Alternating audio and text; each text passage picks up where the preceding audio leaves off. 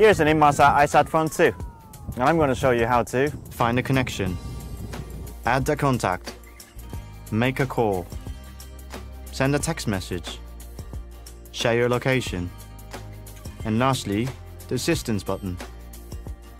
You can see that I'm outdoors in a large open area with no obstructions around me such as tall buildings. This is important to get a good connection for your iSatPhone 2 as you need a good line of sight between your phone's antenna and an Inmarsat satellite in orbit.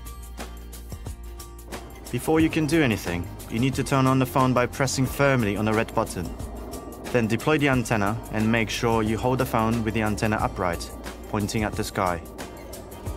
It's now ready because I've got more than two signal bars. To make calls and send text messages, you need at least two bars. Next, I'll show you how to add a contact on your iSatPhone 2. It's easy to do and saves you having to remember contact details. Select Contact by pressing the top right button on the keypad. Select Phone Book. Then go to Options and select New Contact. I will now add contact details of my colleague Sarah. As the iSatPhone 2 is a satellite phone, all phone numbers should be saved as full international numbers.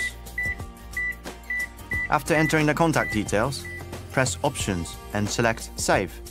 Sarah is now added to my phone book as a contact. There are two ways of making a call, either from the saved contacts or by typing the number into the keypad.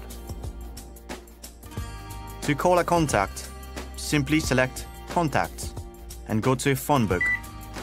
Highlight the name of the person you want to call and press the green call button to dial. If you don't have a phone number saved, you can type one directly into the keypad using a full international number. First, type 00, then the country code, for instance 44 for the UK, the area code, and the rest of the number. When ready, press the green button to place the call. When on the call, you may need to adjust the angle of the antenna so that it remains pointed at the sky while the handset is comfortably positioned for talking. To hang up, simply press the red button. To send a text message, press the top left button to open menu. Then select the messaging icon. It's already highlighted. Select New Message. And again, then go into Text Message. Next, move the cursor up to the To box and enter the number just like you would if making a call. Or select the saved number from the contact menu. Then move the cursor down to write the message using the keypad. When you're ready to send, select Options and select Send. This envelope icon with a little flashing green arrow indicates that the text message is being sent. A message will then appear on the screen, confirming that the text has been sent. That means we're done. Don't forget, the antenna must be deployed and pointing towards the sky to send messages. Let's say you're in the field and want to share your location with your team elsewhere. It's not an emergency situation, just business as usual. There are three options to do this on the iSatPhone 2.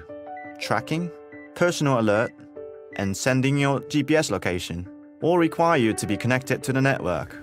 Sending your GPS location is a one-off message, so I'll take you through how to do that. Press the menu button on the top left. Then using the central navigation keys, scroll down to Location Services. Select this and it will open a list of options.